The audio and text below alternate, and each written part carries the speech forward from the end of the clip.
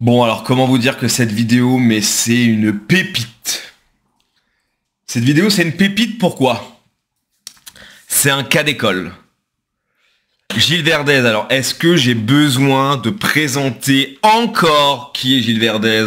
Le demi originel, le l'épée, le bras armé du grand remplaçant africain qui veut en découdre avec cet état fondamentalement raciste qu'est la France. En fait, pour Gilles Verdez, tu veux, tant qu'il y aura des blancs, il y aura du racisme. Donc en fait, la lutte doit continuer jusqu'à euh, bah, euh, bah, jusqu'à ce qu'il n'y en a plus quoi.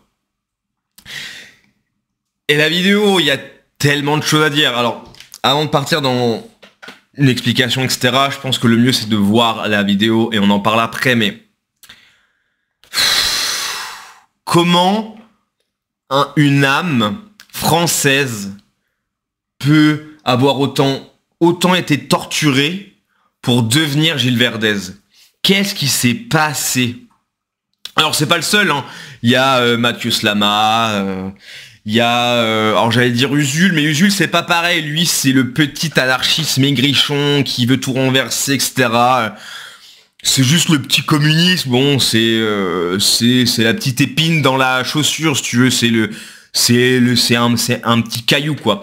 Gilles Verdez c'est vraiment alors lui c'est pas non plus euh, un Golgoth, hein, c'est pas un monstre c'est pas un monstre de puissance mais la question que je me pose, c'est comment une âme française, c'est un pur sang français, hein, si je dis pas de bêtises, comment une âme française peut avoir autant été torturée et devenir ce qu'elle est devenue, quoi? C'est là, on est dans un, enfin, bon, on regarde la vidéo, mais c'est une pépite oui, alors. Non, mais je trouve détestable ce que vous faites, euh, Verlaine, parce que. Non, mais eh, calme-toi, détestable, c'est bon. Alors, je regarde plus depuis des années, touche pas à mon poste, mais vraiment des années. Mais à chaque fois que je vois un extrait, alors, dites-moi, hein, peut-être que vous, vous regardez, etc. Je, je, sais pas, il a pas de souci. Mais j'ai l'impression qu'à chaque fois, dans chaque émission, Hanouna, il met des tacles à Gilles Verdez. Non, mais tais-toi. Euh, alors, est-ce que vraiment il peut plus le saquer? Est-ce qu'il le garde parce que ben grâce à lui, il a la légitimité de dire bah, sur mon plateau il y a toutes les paroles qui s'expriment, etc. et que vraiment il n'en peut plus? Est-ce que c'est du jeu entre les deux? Je sais pas, mais j'ai l'impression qu'à chaque fois que Gilles Verdez ouvre la bouche, et à juste titre, hein, parce que c'est un c'est un moulin à paroles. Euh, enfin, ça n'a aucun sens. Enfin, si, malheureusement, ça a du sens, mais c'est un moulin anti-France, quoi. C'est un... Alors, lui, je sais pas s'il l'a déjà dit, mais tu comprends tout de suite qu'il vote LFI, quoi. Il vote LFI, quoi. Mais bref, c'est pas le débat. J'ai l'impression qu'Anouna lui met des taclés tout le temps. Il a raison, à, juste titre, mais je trouve ça marrant. Non, mais je, je retire. Je trouve regrettable ce que vous faites, Verlaine, parce que euh, avec votre couleur de peau, en fait, vous cassez... Ça part bien déjà. Non. Ok. Bon, je suis désolé. Oh, bah, nous, oui, alors. Non, mais je trouve détestable. alors, je suis désolé, sauce l'armate. Ce que vous faites, euh, Verlaine, parce que. Non, mais eh, calme-toi, détestable, c'est bon. Mais... C'était le début, ça. Non, mais je. Bah, vas-y, vas-y. Je retire. Je trouve regrettable ce que vous faites, Verlaine, parce que, euh, avec votre couleur de peau, en fait, vous cassez con. Voilà. Donc, c'est là que je voulais m'arrêter avant de faire une bêtise. Je sais pas si vous imaginez, mais en fait, dans sa tête, comment est-ce que je pourrais dire ça? Dans sa tête, un noir, c'est quelque chose. C'est-à-dire que un noir en France, ça doit forcément être dans la lutte. Euh, ça doit pas être français, ça doit être fier de ses origines, ça doit revendiquer ses origines. Ça ne doit pas plaire au monde blanc occidental parce que c'est des racistes, etc. Donc en fait, si, si tu veux, ce que, lui représente, c'est tout ce qu'il déteste. Parce que Gilles Verdez, lui, ce qu'il veut défendre, c'est le pauvre petit Africain opprimé. Lui, c'est... Il n'y a rien de plus raciste qu'un gauchiste. Mais rien de plus raciste. La phrase qu'il vient de dire, elle est incroyable. Avec votre couleur de peau. Donc en fait, ta couleur, avec ta couleur de peau, tu dois être quelque chose en fait. Je sais même pas si, vous imaginez. Si un mec de droite dit ça, mais c'est... Je sais pas si t'imagines. Si Marine Le Pen dit ça, si, Zemmour dit ça, c'est... une tempête absolue. Mais là, comme c'est Gilles Verdez, le dimi en chef, gros gauchiste, vote LFI, ça va passer parce que lui, ce qu'il veut, c'est la libération du peuple noir. Tu comprends? Enfin, c'est, il y a rien de plus raciste qu'un gauchiste. Je, sais pas si vous imaginez la violence. Non, mais avec votre couleur de peau là, euh, pourquoi est-ce que non, non, non, c'est en fait, c'est pas comme ça qu'un noir doit se comporter, doit se comporter. C'est exactement ce qu'il dit. Et lui, pas de souci, quoi. Dans sa tête, il n'y a pas de souci, quoi. Bon bref, on continue. Complètement la lutte contre le racisme. et ça, et ça, je trouve ça, laissez-moi finir. Catastrophe de dire ça. Ouais, voilà, c'est ça. Ça, ça, c'est catastrophique de dire ça. parce que vous, vous, allez trop vite sur les conneries. Il va sortir de là, laisse-le finir. Non mais laisse-le finir. Il va sortir de là. Il va sortir très bien de là, mais bon. C'est une catastrophe ce mec. Hein. Et en fait, euh, c'est triste parce que euh, tous les gens qui sont contre le fait qu'Aya Nakamura chante, ce sont des racistes. Vous le savez très bien. Alors, ce qui est marrant, c'est que la, gauche nous dit toujours pas faire de généralité, ils sont pas tous comme ça, il y en a des biens, etc. Vous connaissez cette fameuse chanson. Par contre, quand c'est la gauche qui l'utilise, il n'y a pas de souci. Vous savez très bien que tous ceux qui l'utilisent, tous ceux, c'est parce que c'est des racistes. Tous Tous voilà. Alors j'imagine qu'il connaît tout le monde qui est contre. Hein, j'imagine. Alors qu'il y en a. Alors j'imagine qu'il y en a qui sont contre parce qu'ils le sont. Sûrement. Certainement. Sûr. Mais en fait, il y en a non. Hein, il y en a juste, ils se disent, bah écoute, ça pourrait être quelqu'un d'autre, tu vois. Euh, même qui est euh, qui n'est pas blanc, mais euh, pas elle, parce que bah, ces textes, c'est le niveau zéro, elle est vulgaire, elle est tout ce que tu veux. Là, j'ai vu, là, très récemment, il y a eu un... Il y a eu une sorte de... Euh, en fait, on a posé aux Français quel artiste est-ce que vous aimeriez voir pour, pour les JO. Le premier artiste, c'est David Guetta. Alors, je suis très fan de musique électronique, je peux vous... Alors clairement pour moi David Guetta c'est le niveau zéro, mais je préfère largement David Guetta, qui lui effectivement a fait rayonner la France au niveau électronique. Et au final quand on regarde ses productions au début, euh, était assez de qualité, il faut il faut l'admettre. Donc ça ça pourrait être un bon choix. Après j'ai vu Laurent Pagny, bon Laurent Pagny, euh, je suis un peu moins chaud. Et après j'ai vu Daft Punk. Daft Punk, je suis désolé, mais pour les JO en France, ça aurait clairement de la gueule. Je suis ultra chaud pour Daft Punk. Mais non, on va mettre Aya Nakamura, bien évidemment. Alors que Daft Punk, je suis, je suis désolé, c'est connu mondialement plus que Aya Nakamura. C'est pur français. Pur français. Et ils ont un talent monstre. Alors effectivement, je crois qu'ils se sont séparés il y a quelques années. Il y a deux ans ou quelque chose comme ça, le temps passe vite. Je sais plus, je dirais deux ans. Mais Daft Punk, c'est quand même des monstres. C'est ça au nom de votre couleur de peau. Et ça, je vous en veux vraiment beaucoup.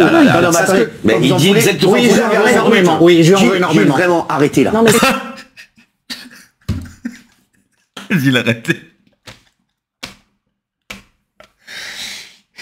Mais en fait, mais dans sa tête, à Verdez, il voit pas le problème, quoi. Il voit pas le problème. En fait, pour lui, un noir, ça doit être comme ça, quoi.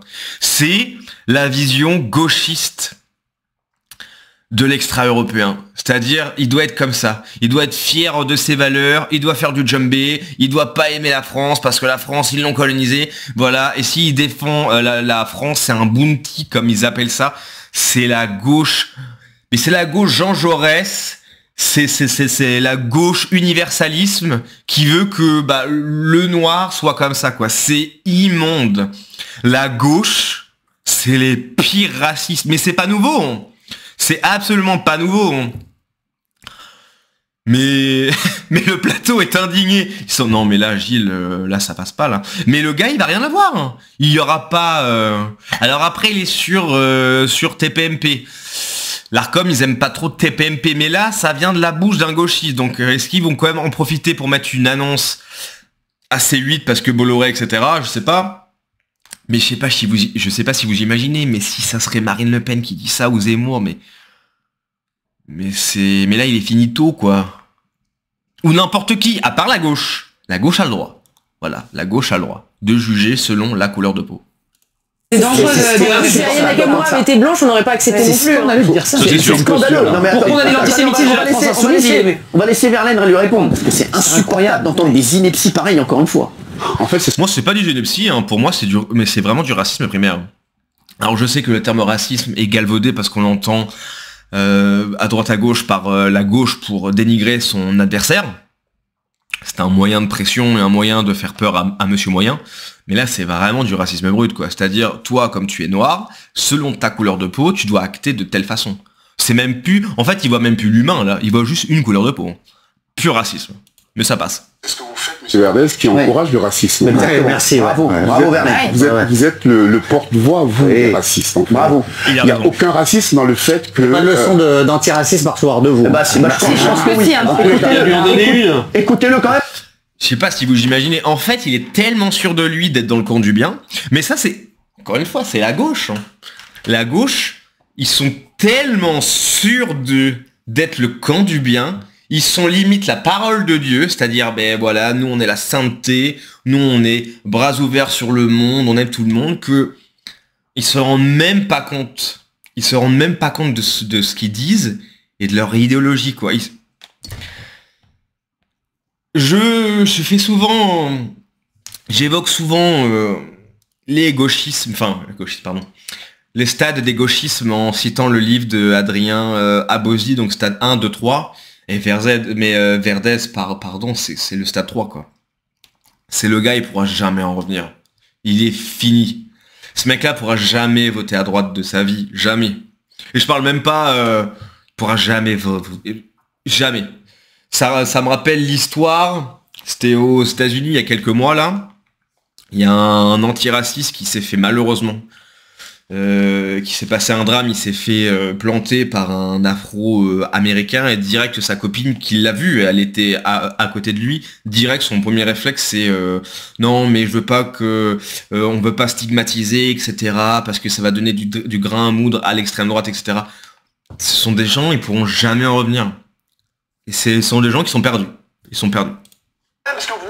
Je pense que sa leçon va être plus intéressante. Merci. Dans tous les cas, ce qu'il faut, ce qu'il faut voir derrière les réactions qu'il y a eu, euh, notamment sur Twitter, euh, vous prenez, c'est vrai, j'extrais la phalange de, de ceux qui ont des problèmes pathologiques li- liés, à- liés au racisme. Ça, je ne veux pas parler pour eux ou en leur nom. Mais de façon générale, ceux qui ont réagi sur le tweet de, du député Antoine Manchin, là, Léo pas c'est pas pour on va dire c'est pas pour contester le fait que la couleur d'Aya Nakamura ait éventuellement été euh, euh, une raison dans son choix pas du tout c'est parce qu'elle ne sait pas chanter point barre C'est pas chanté à Nakamura. arrête. C'est parce qu'elle ne sait pas chanter, point barre Il a raison. hein. on vous dit. Euh, pourquoi tweet pour En Wallouse, voilà, oui, alors. Non mais je trouve des... Ah, c'est la fin de la vidéo. C'est... euh, pense que j'ai déjà tout dit, mais c'est incroyable, quoi. Et le gars, dans ses baskets, il est, il y a pas de souci, quoi. Non, non, il est le camp du bien. Et non, non, tu es noir, tu, tu dois faire ça. C'est... Et ça, c'est les électeurs de la France insoumise. Également, je sais pas si vous imaginez, l'électorat LFI. Des halogènes et ce genre de zinzin raciste. C'est, dingue quand même. C'est dingue. Mais l'antiracisme est un racisme. Ce n'est pas nouveau. Bon, sur ce, je vous laisse. Ciao